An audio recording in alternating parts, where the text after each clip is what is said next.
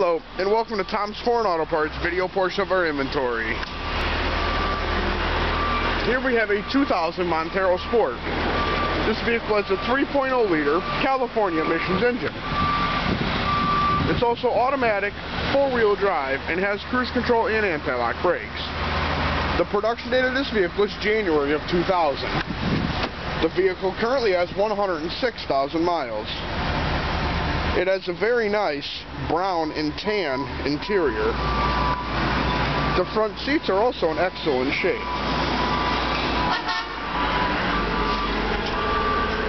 The vehicle has standard climate control and a factory tachometer. And as you can see, the vehicle has 106,000 miles.